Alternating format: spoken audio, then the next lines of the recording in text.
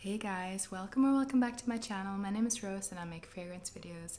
And today we have our top 5 fall fragrances for the men.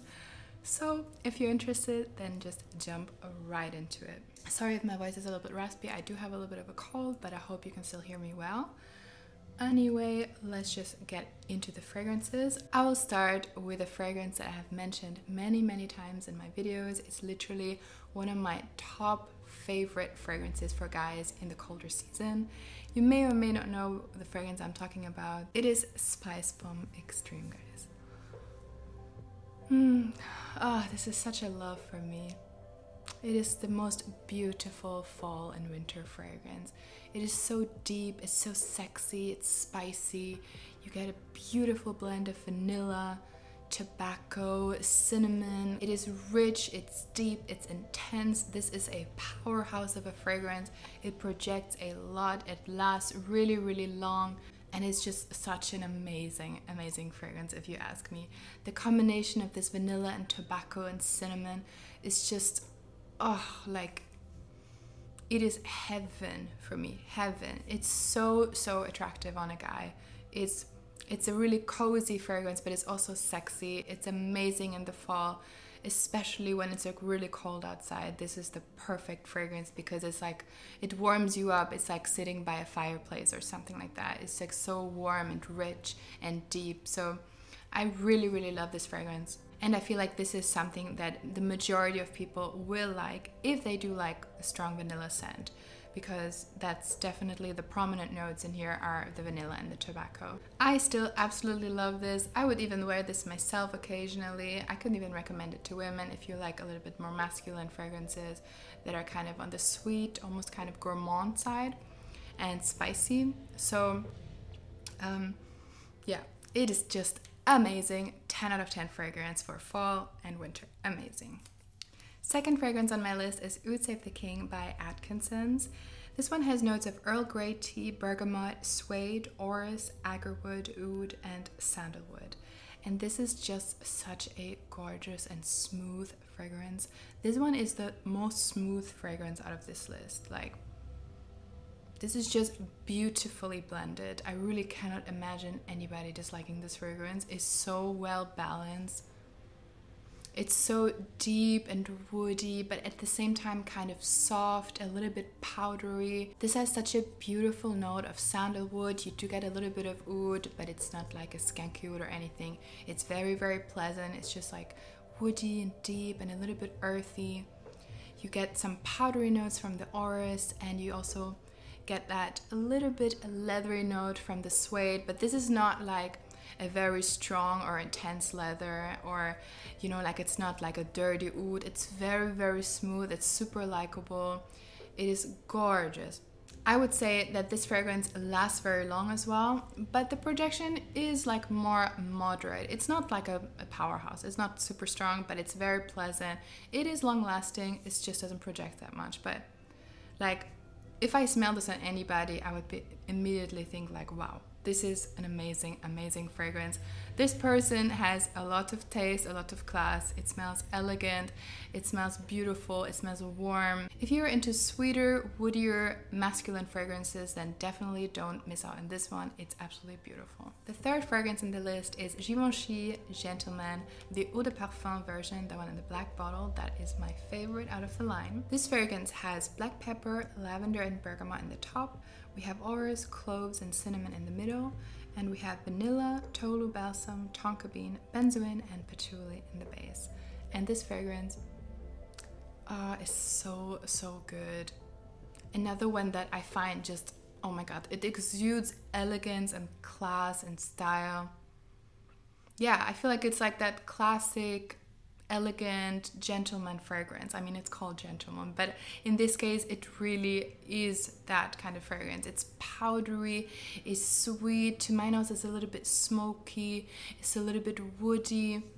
You get the aromatic notes from the lavender. It's also spicy, but it's not as spicy as something like um, Spicebomb Extreme.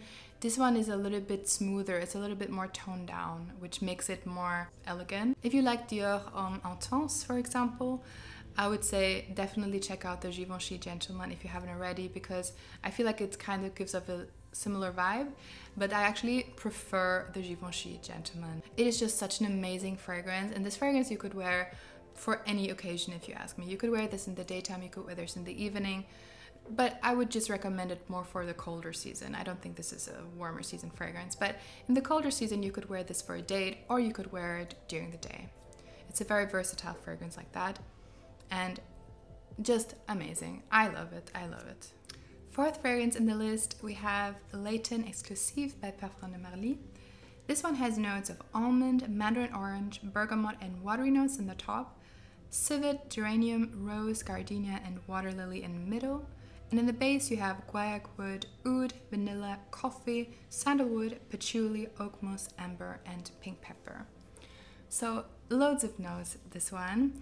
Um, if you know the original layton this one is definitely quite different. This one is a completely different fragrance. Layton is more of that kind of young playful guy. Maybe it's more of a summery kind of fragrance. It's very flirty. It's very like happy. Um, it's very like party goer to me. This one is a little bit more mature. I would say this one may be more for somebody that's like over 30, maybe over 35. This is a slightly mature fragrance, but I mean it in the best way possible. I just think it smells very classy, it smells very elegant. Um, it smells very woody, it smells very kind of dark, a little bit syrupy sweet as well. It is also a little bit spicy, but the feel I get from this is like a very dark, woody, woody, slightly animalic note to it as well. So I wouldn't recommend this for everybody. This is a fragrance that I think you have to like the style of fragrance and maybe it's also not for like the super young generation. Um, I, it's not really a blind buy in my opinion. This is not really safe for blind buying. So test this one out before you try it but I think it's really, really amazing. I like this just as much as the original Layton, and I think this one is the one to go for for fall and winter. It is just a really, really nice fragrance. And the next one on my list is Désir Toxique by M. Micallef. And this fragrance has cardamom, bergamot, and lemon in the top. You have tonka bean, cinnamon, cannabis, and blackcurrant in the middle. And you have oak moss, benzoin, patchouli, and musk in the base. So this fragrance is kind of both spicy and deep as well as kind of bright. So I think this is especially good on those a little bit sunnier, brighter fall days because you definitely get a kind of citrusy opening. You do get the lemon, you get the bergamot, but you also get a lot of spicy notes in this one. You have the cinnamon, you have the cardamom, and that definitely brings it, for me anyway, more into that fall winter category also a great date fragrance. This is also one that's very, very strong and projects very well.